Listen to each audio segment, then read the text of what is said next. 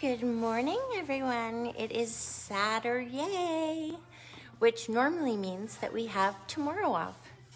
Um, but this is the holiday season, and we love it here at Salon Bliss. We call it Blissmas, which is the days before Christmas.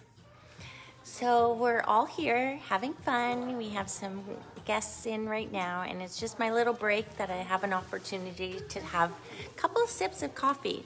So that's what I'm doing, and I thought that I would talk to all of you as well.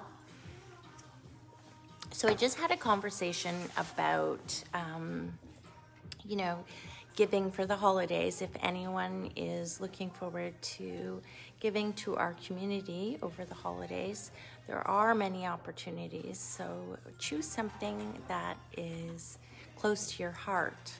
You know, there's there's all kinds of um, people to help at this time.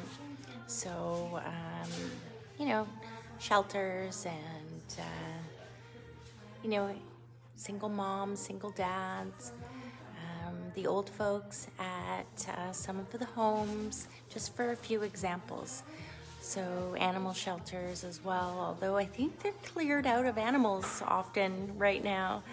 So, um, anyways, I just wanted to kind of spread that love a little bit.